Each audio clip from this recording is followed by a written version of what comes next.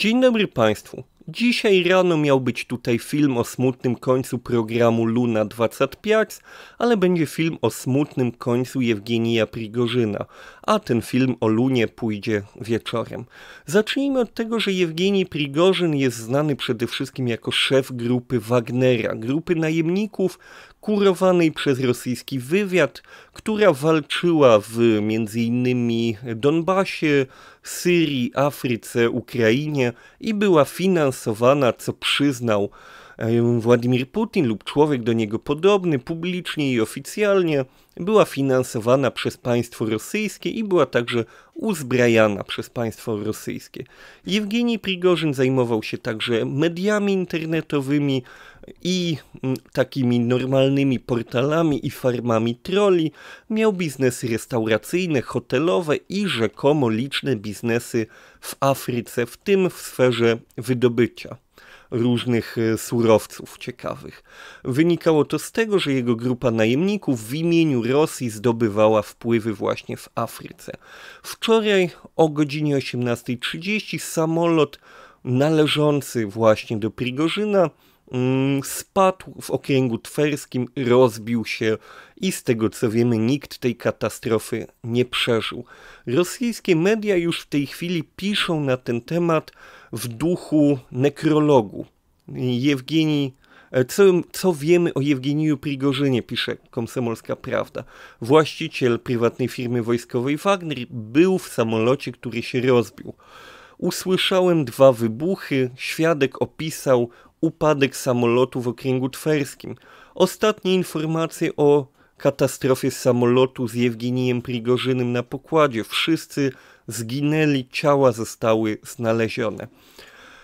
Faktycznie trzeba tutaj mówić o faktach, domysłach, wersjach, y, symbolach, jest tego wiele. Fakty są takie, że w okręgu twerskim tak zwany biznes jet, jak to mówią Rosjanie, czyli niewielki samolot pasażerski, do zastosowań biznesowych, prywatnych, spadł w okręgu twerskim, doszło do katastrofy i to jest potwierdzone przez wiele świadectw i wiele materiałów audiowizualnych. Mamy materiał, na którym widzimy, jak samolot, który już się dymi, już jest niekompletny, bo zaczął się rozpadać w powietrzu, spada jak kamień, on nie szybuje, on spada na ziemię i człowiek, który to nagrywa lub człowiek stojący tuż obok niego mówi o tym, że było słychać dwie eksplozje. Widzimy miejsce, w którym to się wydarzyło.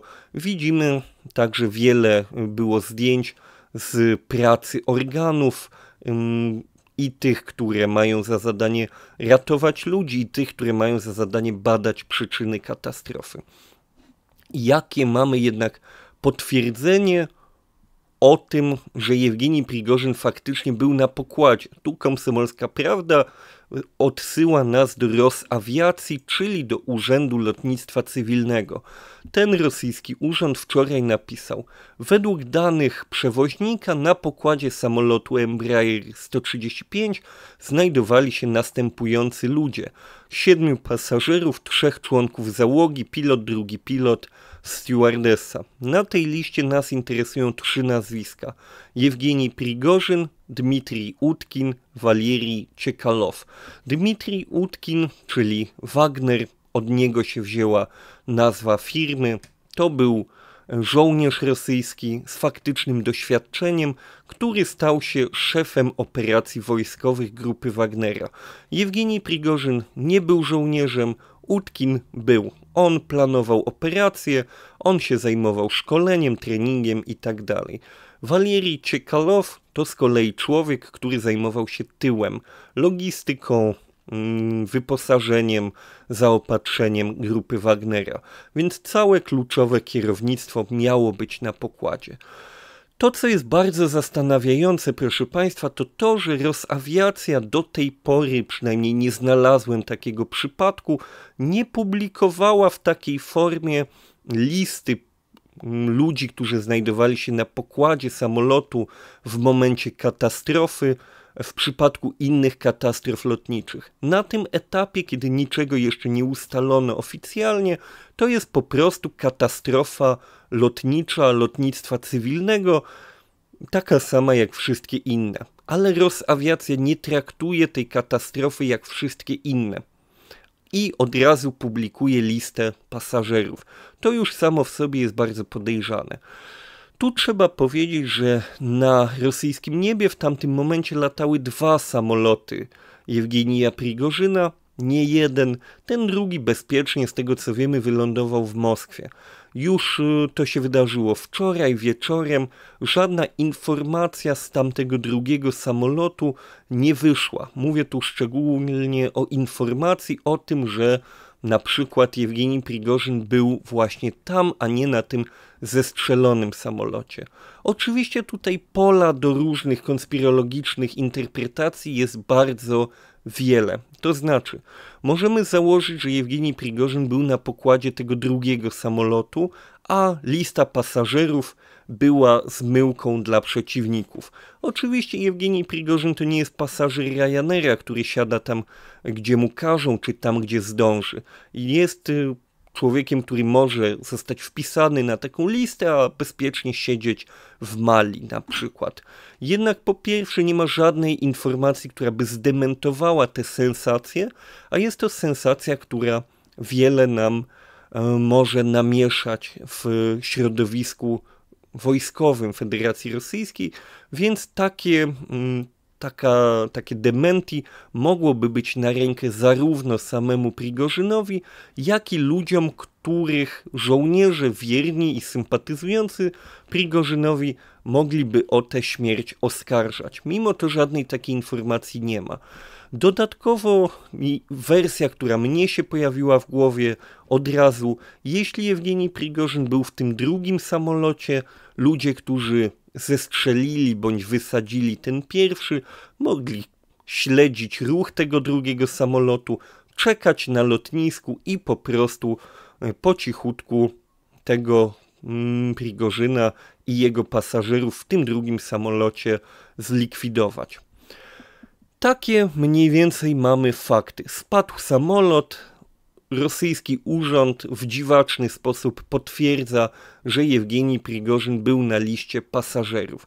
Zaraz jeszcze sobie przejdziemy do dodatkowych. Mm, to nie są dowody, w żadnym wypadku to będą poszlaki. Ale zanim do tego przejdziemy, zobaczmy sobie jeszcze symbolikę, proszę Państwa.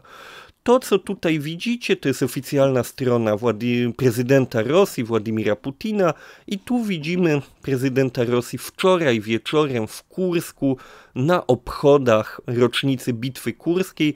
On pozuje do wideo i do zdjęć na tle muzyków z orkiestry. Grupa Wagnera wzięła swoją nazwę właśnie od Dmitrija Utkina, który z tego co wiemy był zadeklarowanym nazistą, który lubił kompozytora Wagnera, bo Hitler lubił kompozytora Wagnera, ale od tego nazwiska kompozytora wzięły się takie określenia Wagnerowców jak orkiestra czy muzykanci. Oni sami tak o sobie lubili mówić. Więc tam samolot spada, a Władimir Putin lub człowiek do niego bardzo podobny pozuje na tle muzyków czy też orkiestry właśnie. Druga sprawa jest taka, że minął dokładnie drugi miesiąc od momentu, w którym rozpoczął się bunt Prigorzyna. 23 czerwca Jewgeni Żenia Prigorzyn poinformował, że obóz Wagnerowców został ostrzelany i on leci robić porządek i na drugi dzień, 24 czerwca, jego kolumna szła na Moskwę, a druga kolumna zajęła Rostów nad Donem. Dodatkowa symbolika, proszę Państwa, jest taka, że podczas tego marszu na Moskwę, czego wielu Wagnerowcom nie wybaczyło, oni zestrzelili kilka statków powietrznych śmigłowce i jeden samolot. I tak samo jak Wagnerowcy strzelali rakietami do rosyjskich wojskowych samolotów, tak być może, bo to nie jest jeszcze ustalone na pewno, rosyjskie siły przeciwlotnicze mogły zestrzelić samolot Jewgenija Prigorzyna. Tutaj pojawiają się doniesienia o tym, że świadkowie widzieli na niebie takie chmurki, zygzaki, ślady po rakietach przeciwlotniczych. To faktycznie tak wygląda. Miałem okazję to zobaczyć y, na Hersońszczyźnie. Taki ślad po mm, pracy rakiety przeciwlotniczej wygląda jak taka chmurka błyskawica, jednak to nie trafiło na żadne zdjęcie czy wideo, które trafiłoby już do sieci. Tak czy inaczej, gdyby faktycznie, gdyby to wydarzenie wyglądało w ten sposób, że byłaby to zemsta armii rosyjskiej i Władimira Putina osobiście na Prigorzynie, który zbuntował się przeciwko nim równe dwa miesiące wcześniej, to układałoby się to niesamowicie symbolicznie, jak ty nam, tak my tobie, rakietą w samolot, równe dwa miesiące później, a Władimir Putin wysyła pozdrowienia bądź jego sobowtór na tle muzykantów. Dodatkowo, proszę Państwa, miejsce tej katastrofy jest y, ciekawe. Rosja jest ogromnym państwem, a tak się złożyło, że do tej katastrofy bądź ataku doszło około 50 km od domu Władimira Putina. Oczywiście trzeba powiedzieć, że Władimir Putin ma wiele domów w Rosji i jest wiele miejsc w Rosji, które znajdują się 50 km od domu Władimira Putina. Tutaj mówimy o rezydencji nad jeziorem Waldaj, która jest y, podobno ulubioną i najchętniej odwiedzaną przez Putina rezydencją. Tutaj mamy niewielką miejscowość Kurzenkino, tuż obok niej ten samolot spadł. To mieszkańcy tej niewielkiej wsi raportowali jako pierwsi o tym, że coś się wydarzyło, a 50 niecałe kilometrów dalej mamy jezioro Waldaj z taką malowniczą wyspą, na której znajduje się mm, tutaj, proszę Państwa, klasztor prawosławny. Ładne miejsce więc to także może być symboliczne. Podobno, tak się uważa, samolot Jewgenija Prigorzyna leciał z Moskwy do Petersburga i jest to standardowa trasa dla tego typu przelotów. Co jeszcze wiemy, jeśli chodzi o potwierdzenia? Tutaj mamy człowieka z grupy Bellingcat, bardzo dobrze znanej nam, i on pisze, że mieli numer telefonu Walerie, Waleria Ciekalowa, szefa tyłów Wagnera, który pozyskali dzięki poprzednim śledztwom. I tutaj on to pisał o godzinie 10.30, że ten telefon ostatni raz zgłaszał się na telegramie e, jako, mm, jako telefon online 5 godzin wcześniej, czyli około godziny 6.30 17.30, czyli mniej więcej godzinę przed katastrofą. Jest to jakaś forma potwierdzenia. Dziennikarz Andrzej Zacharow także potwierdza, że źródła mu mówią, że wewnątrz mm, struktur y, prigorzynowskich, niekoniecznie tylko wagnerowskich, zaczęły się pojawiać informacje o śmierci e, szefa. Jest także taki działacz y, Rogow, były separatysta, który także na podstawie źródeł to potwierdza. Cargrad, y, rosyjskie mm, medium, bardzo takie byśmy powiedzieli konspirologiczno-patriotyczne, mm, podało taką informację, że ciała Jewgenija Prigorzyna i Dmitrija Utkina zostały rozpoznane, ale że genetyczna ekspertyza także będzie przeprowadzona. Także pojawiają się tego typu informacje w sieci. Po drodze ich było wiele z różnych źródeł, także o tym, że Jewgeni Prigorzyn był widziany z Utkinem, jak wsiadają do tego samolotu. Al Jazeera podała, że nie znaleziono, nie rozpoznano ciała, bo wszystkie 10 ciał znaleziono, jeszcze nie rozpoznano ciała. Wiadomo, ciała po katastrofie lotniczej wyglądają inaczej niż przed. Natomiast Al Jazeera podała, że na miejscu katastrofy znaleziono telefon Jewgenija Prigorzyna.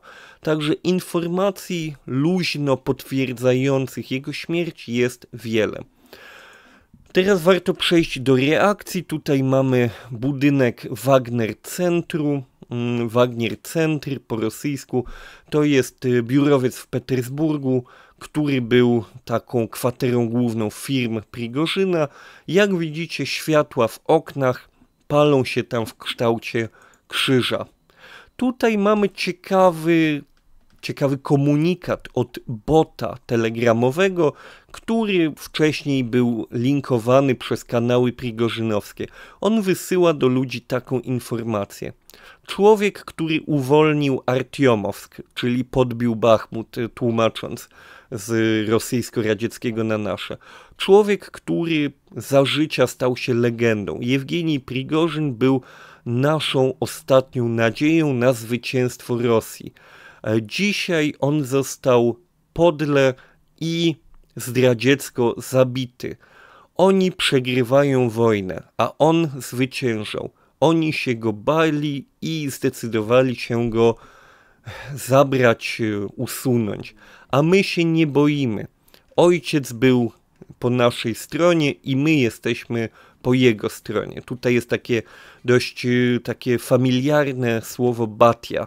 E, taki no, no ojciec, no ale taki no takie bardzo to familiarne, no nie atiec, czyli ojciec, tylko no może nie wiem, jakoś w tym kontekście mi tata nie pasuje zupełnie, no ale to jest takie, no takie określenie bliższe bo zresztą tata po rosyjsku to papa, a u nas tego określenia batia to tak, no ojczulek tu jest takie, no u nas to już we współczesnym języku polskim już byśmy tego nie użyli w tym samym kontekście, co Rosjanie powiedzą właśnie batia, ale jeśli tam na przykład oddział wojskowy ma jakiegoś takiego sporo starszego um, oficera, dowódcę, który się opiekuje tymi żołnierzami, ich wspiera, jest surowy, ale sprawiedliwy, no to na takiego dowódcę powiedzą, będą mówili na niego właśnie Batia.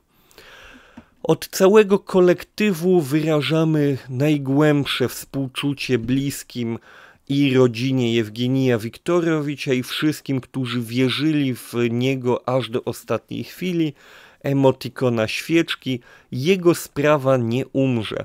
Wychodźcie na ulicę, żeby uczcić pamięć bohatera Rosji, nie będziemy wstydliwie chować się w domach i udawać, że Prigorzyna nigdy nie było. Prigorzyn był i zostanie z nami centralny plac Twojego miasta, niedziela 12 w sprawie koordynacji pisz do tego bota. Także już się pojawiły reakcje.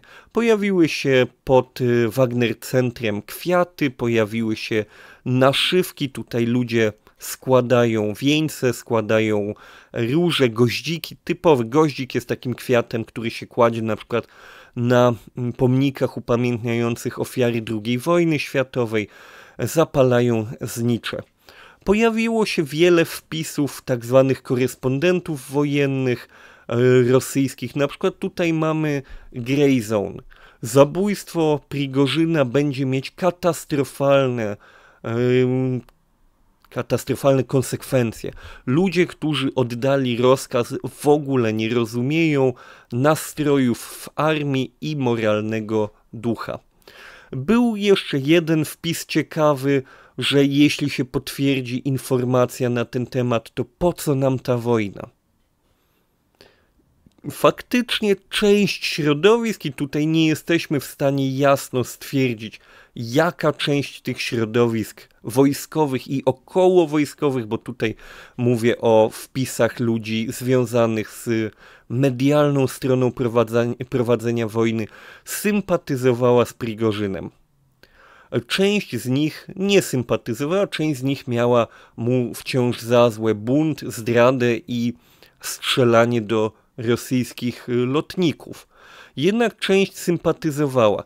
Pojawiły się co więcej informacje, proszę Państwa, o tym, że mm, Rada dowódców grupy Wagnera posiada swojego rodzaju mm, protokół na podobny wypadek mm, i może zareagować na to, co się wy, wydarzyło w sposób niekoniecznie przyjazny dla władz. O co może chodzić?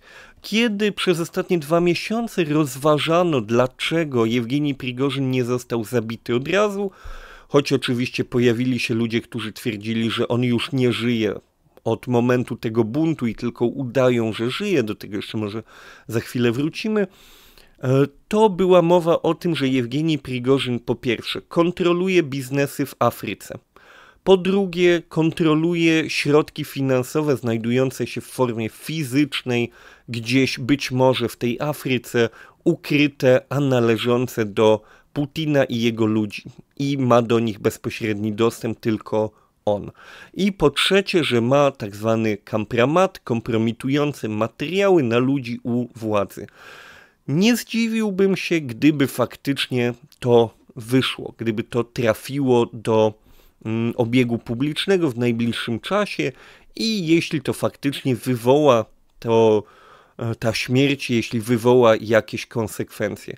Widzimy, że władze rosyjskie do pewnego stopnia okazują strach przed tego typu scenariuszem. To znaczy, białoruski Gajun, grupa obserwatorów z Białorusi, poinformowała, że w okolicach miejscowości Cel, gdzie się znajduje ten sławny wagnerowski obóz y, w Białorusi, zaczęli zagłuszać łączność i mm, wyłączać łączność komórkową, e, internet i tak dalej. Być może po to, żeby ci Wagnerowcy po prostu nie dowiedzieli się o tym, co się wydarzyło, bądź nie mogli się skoordynować z Wagnerowcami znajdującymi się gdzieś indziej.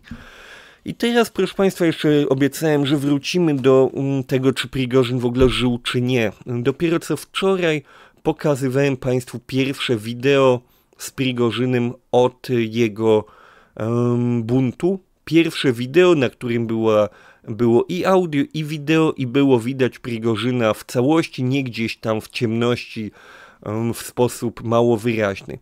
I Prigorzyn tam występował rzekomo w Afryce, choć mówił, że tam jest 50 stopni, a stał w pełnym ekwipunku. On pozował właśnie z karabinem i to, co warto zauważyć, on podnosił ten karabin i pokazywał swoje dłonie. Jednym z charakterystycznych elementów anatomii Jewgenija Prigorzyna jest to, że brakuje mu fragmentów palców. Podobno stracił je jeszcze w kolonii karnej w więzieniu w dawnych czasach, gdzie siedział za rozboje. Więc pokazywał, że to on. Natomiast nie powiedział tam faktycznie niczego, co udowadniałoby, że to zostało nagrane już po buncie. Nie było tam żadnej, z jego ust nie padła żadna informacja, która by pozwalała nam określić, kiedy to wideo zostało nagrane, bo on po prostu mówił, że rekrutują, że są w Afryce, że walczą o wielkość Rosji i wolność Afryki, walczą z państwem islamskim, Al-Kaidą i innymi takimi. Nic konkretnego, jeśli chodzi o czas nagrania. Więc tutaj pojawia się, jak w całej historii Prigorzyna, wiele wątpliwości, wiele pola do interpretacji. Ogólnie w całej historii Prigorzyna od samego jej początku, lata temu, tam było wiele białych plam. Hmm, przejdźmy jednak faktycznie do dywagacji na temat sensu tych wydarzeń. Do tej pory oczywiście mieliśmy całą masę różnych rozważań. Myślę, że po tym, co się wczoraj wydarzyło, możemy już y, ostatecznie między bajki włożyć tę historię, że bunt był inscenizacją, która miała na celu nie wiem, tam była taka wersja ujawnić nieprzychylnych Putinowi generałów. Mm, myślę, że to już naprawdę ostatecznie znika nam z radarów ta wersja. Jewgeni Prigorzyn wziął udział w rozgrywce o władzę, szerszej rozgrywce o władzę, w którą zaangażowane były siły nie tylko jego i nie tylko oficjalne siły, e, te, które, o których wiemy, że trzymają w Rosji władzę, ale też siły, które te władze przejąć by chciały. To mogły być klany mm, w FSB, klany w armii. Rosja ma strukturę, mm, która nie jest nazwijmy to w ten sposób, instytucjonalna, tylko klanowa. To znaczy mamy instytucję, armia, ale wewnątrz tej armii istnieją konkretne klany, zwolennicy konkretnych ludzi. Możemy tutaj mówić e, na przykład o ludziach Szajgu i Girasimowa, a możemy mówić na przykład o wywiadzie wojskowym, możemy mówić o ludziach Bortnikowa w FSB, a możemy mówić o ludziach Patruszewa w FSB. To jest skomplikowany i bardzo mało jawny schemat. Więc e, Jewgeni Prigorzyn podjął jakąś próbę działania, prawdopodobnie skoordynowaną z innymi ludźmi, um, aspirującymi do władzy w Federacji Rosyjskiej dwa miesiące temu. Najprawdopodobniej wtedy to był um, przejaw desperacji z jego strony, ponieważ chcieli go wtedy pozbawić przejąć jego grupę Wagnera, co skończyłoby się dla niego tragicznie, więc podjął próbę. Ta próba skończyła się prawdopodobnie wtedy, kiedy Prigorzyn zrozumiał, że nie ma tak dużego wsparcia, na jakie liczył, dogadał się, odsunął swoją mm, śmierć wtedy. Padły wtedy prawdopodobnie deklaracje różne z obu stron zobowiązania. Putin podejrzewamy zobowiązywał się nie zabijać Prigorzyna. Prigorzyn zakładamy zobowiązywał się nie mieszać w sprawy rosyjskie. Z tego co słyszeliśmy przez cały ten czas, obie strony miały problem z dotrzymywaniem tych umów. Jewgenij Prigorzyn na przykład mm, odwiedzał Federację Rosyjską, co stawiało Władimira Putina w bardzo słabym świetle. Przez cały ten czas oczywiście rosyjska machina propagandowa próbowała nam wmawiać główne kłamstwo putinizmu, to znaczy to wszystko było genialnym planem Władimira Putina. W tej chwili Jewgenij Prigorzyn zagraża Kijowowi, Litwie, Łotwie, Polsce i w ogóle doskonały ruch. My teraz wszystkich zaszachujemy tym Prigorzynem i Wagnerem. Jak widzimy, no, nic takiego się nie wydarzyło i nie widać, żeby jakiekolwiek ruchy w ciągu tych dwóch miesięcy się wydarzyły, które pozwoliłyby sądzić, że Wagnerowcy w Białorusi zbierają siły, ciężki sprzęt, amunicję, żeby faktycznie stać się problemem dla któregoś z państw sąsiednich. Zamiast tego widzieliśmy, proszę Państwa, w ostatnich dniach także informacje o tym, że Ministerstwo Obrony zaczyna przejmować interesy Prigorzyna w Afryce. To może być odpowiedź na pytanie, może być, ale nie musi, dlaczego ta zemsta wydarzyła się dopiero dwa miesiące później. Jewgenij Prigorzyn faktycznie miał wiele wpływów w Afryce i Ministerstwo Obrony mogło chcieć mieć czas, żeby przejąć te interesy, zebrać ludzi, zrekrutować Wagnerowców. Podobno zrekrutowali szefa rekrutacji i HR-u u Wagnera, żeby te interesy w Afryce przejąć, a nie stracić i nie musieć tam wszystkiego zaczynać od zera. I kiedy Jewgeni Prigorzyn być może szykował coś kolejnego, być może bali się, że skoro teraz odbierają Prigorzynowi Afrykę, to on będzie wykonywał kolejne ruchy niebezpieczne dla e, rosyjskiej władzy, to uznali, że to dobry moment, żeby się go pozbyć. Oczywiście, proszę Państwa, już teraz zaczęły się pojawiać dodatkowe wersje, co jest oczywiste, jeśli, jeśli ten atak miałby zostać przeprowadzony przez siły zbrojne Federacji Rosyjskiej lub agenturę Federacji Rosyjskiej, to oczywistym jest, że fragmentem tej operacji będzie operacja informacyjna, to znaczy mydlenie oczu i już się pojawiają wrzutki różnych wersji. Na przykład wrzutka o wersji, że bezpośrednio przed startem tego samolotu dostarczono do niego prezent w postaci skrzynki drogiego wina, która nie została sprawdzona, bo dostarczono ją w ostatniej chwili i to ona eksplodowała. Inna wrzutka wersja. Rodzina stewardessy, która miała mm, obsługiwać ten lot, poinformowała, że bezpośrednio przed tym lotem, niedługo przed tym lotem, odbyły się jakieś nieplanowane remonty na pokładzie tego samolotu, jakaś nieplanowa naprawa. To znowu jest jakieś podejrzenie. Dodatkowo promowana jest wersja o tym, że wszystko to jest związane z obchodami ukraińskiego święta, mm, rocznicy ogłoszenia niezależności od Związku Radzieckiego, takie święto niepodległości, które przypada na 24 sierpnia i że ten Jewgenij Prigorzyn został zabity przez służby ukraińskie w ramach właśnie tego świętowania. Mm, ciekawa wersja, choć wyrażę tutaj taką wątpliwość, czy aby przypadkiem siewca niepokoju Jewgenij Prigorzyn nie był bardziej przydatny Ukrainie żywy niż martwy, ale to jest argument oczywiście bardzo słaby w, tym, w tej dyskusji. Jednak tak czy inaczej powtórzę, jeśli by rosyjska agentura bądź wojsko dokonały takiej operacji, to najpewniej właśnie tak by to wyglądało, że w rosyjskich mediach natychmiast zaczęłyby pączkować kolejne wersje o tym, że to jest zupełnie inna sytuacja, że winny jest ktoś zupełnie inny.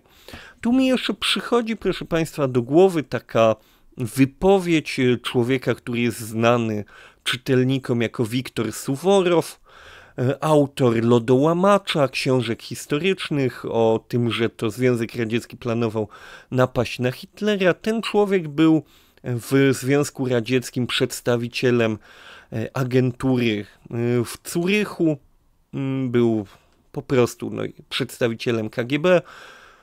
KGB czy GRU? Chyba KGB. To nie jest w tej chwili najistotniejsze, chyba KGB. I on w wywiadzie dla Dmitrija Gordona już dość dawno temu mówił, że kiedy radzieckie służby kogoś mordowały, to robiły to na dwa sposoby. Albo w taki sposób, żeby nikt się nie domyślił, że w ogóle zaszło miał miejsce akt morderstwa. To znaczy w taki sposób, żeby wszyscy myśleli, że to nieszczęśliwy wypadek, jakieś tam otrucie przy jedzeniu nieświeżego mięsa czy piciu nieświeżego kefiru, wypadek samochodowy, tak żeby nie było żadnych podejrzeń, że to morderstwo, albo w taki sposób, żeby wszyscy wiedzieli, że to była pokazowa zemsta. Wydaje mi się, że to, co widzieliśmy wczoraj, lepiej pasuje do tej wersji numer dwa, to znaczy do pokazowej, symbolicznej zemsty. I tutaj faktycznie warto się jeszcze raz odnieść do tych reakcji na to, co się wydarzyło. Być może kanał Grey Zone, szara strefa, może mieć rację. Być może ludzie, którzy oddali ten rozkaz, nie do końca rozumieli konsekwencji swoich działań. Ale z drugiej strony, jak bardzo często się to zdarzało do tej pory w historii putinizmu, jest to idealny przykład sytuacji, w której Władimir Putin i jego najbliższe otoczenie sami siebie wepchnęli w sytuację, w której nie ma dobrego wyjścia. To znaczy, oni najpierw stworzyli grupę Wagnera. Stworzyli, sfinansowali, pozwoli, pozwolili jej urosnąć w siłę, dali Prigorzynowi wszystkie narzędzia od armat po portale internetowe, żeby on zaczął rosnąć do pozycji samodzielnego gracza na międzynarodowej, czy raczej, no przepraszam, wewnętrznej arenie politycznej. Później wymyślili sobie kretyńską wojnę nie do wygrania i rzucili tamtego człowieka. Później, kiedy ta wojna zaczęła przypominać e, maszynkę do mielenia mięsa, mm, stworzyli sytuację, w której w tym człowieku zostało zbudowane poważne napięcie i wątpliwości, jednak nie pozwolili mu się e, porozumieć z Putinem, dogadać, e, w jakiś sposób wpłynąć na sytuację, bo on miał niegłupie de facto pomysły, jak wpłynąć na tę sytuację, ale nie pozwolili mu się wypowiedzieć, doprowadzili do buntu. Tego buntu nie zdławili od razu, pozwolili mu się rozwinąć, później się dogadali, jednocześnie pokazując, że mają śmiertelnego wroga i że ten wróg jest bezkarny. Więc z jednej strony mieli do wyboru albo pozostawić go bezkarnym, co ośmielało i jego dalsze działania, i działania pozostałych buntowników, jak i pokazywało ogromną słabość samego reżimu. Więc Władimir Putin i jego otoczenie mieli dwa, dwie możliwości i obie paskudnie dla siebie negatywne. Albo pokazywać dalej swoją słabość i Jewgenija Prigorzyna nie karać, albo go ukarać i pokazać wszystkim jego zwolennikom, że w tym armii, że tak się rozprawiają z ludźmi, którzy dla nich walczyli. Najpierw ich nie słuchają, później im nie pomagają, później doprowadzają ich do ostateczności, później się z nimi dogadują, a później łamią te obietnice. Także to było złe wyjście, ale drugie też byłoby dla nich mm, jak najbardziej e, negatywne i bardzo możliwe, że fatalne w skutkach. Będziemy oczywiście obserwować te skutki tych wydarzeń, zobaczymy, co się wydarzy dalej, bo jest duża szansa, że faktycznie w najbliższym czasie albo zobaczymy kompromitujące materiały na ministra Szajgu, na Gerasimowa, na samego Putina, albo że zobaczymy jakąś reakcję zwolenników Prigorzyna, albo jeszcze coś innego, czego nie umiemy przewidzieć. Dziękuję Państwu pięknie za uwagę. Przypominam, że jeśli chcecie lepiej zrozumieć Rosję, to w październiku będzie moja książka. Tutaj na dole w opisie jest link do tej książki, do przedsprzedaży. Są linki do naszych zrzutek. Wojna trwa. Pomimo całego chaosu w Rosji, wojna trwa, więc my pomagamy dalej. Zachęcam oczywiście do udziału. Mm. Trzymaj się, Ukraino, i widzimy się niedługo.